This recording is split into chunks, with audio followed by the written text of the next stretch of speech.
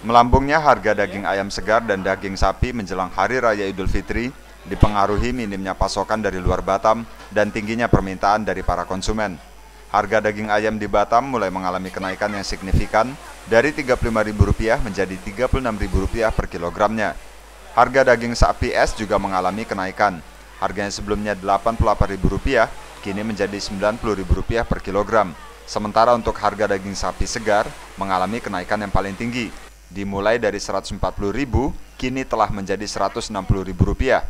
Sementara itu harga ikan juga mengalami kenaikan. Misalnya ikan tongkol, pada beberapa hari belakangan seharga Rp35.000 menjadi Rp40.000.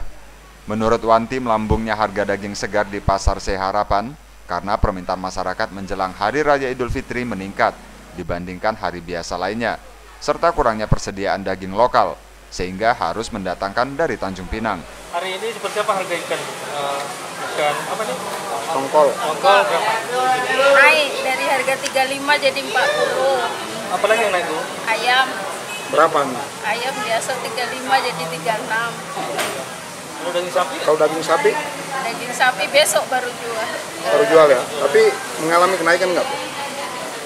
Naik sedikit lah biasa 98. Eh biasa daging es 88 jadi 90. Oh, Ia menambahkan harga daging yang paling tinggi mengalami kenaikan yaitu harga daging segar yang sebelumnya Rp140.000 per kilogram kini naik menjadi Rp160.000 per kilogramnya.